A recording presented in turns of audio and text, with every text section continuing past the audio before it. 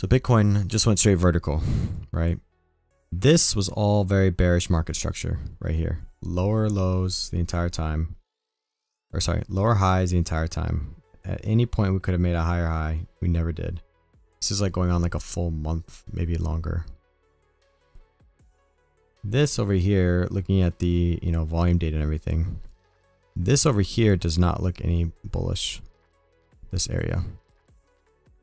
You know, we came up and we still made a lower high, right? This is still bearish movement. I'm going to make this red.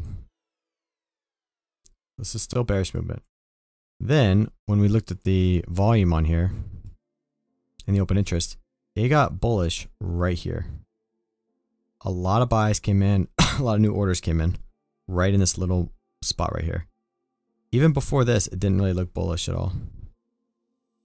Okay, so this little green box right here, we can say that this area is bullish. Okay, make it green. So that's where we had um, some buys come in. Then up here, we you know went straight vertical. Now we're at this swing low here, which would be an ultimate time to buy. It's a great time to buy here. You're coming down, you're retesting the low, and you're making a higher low.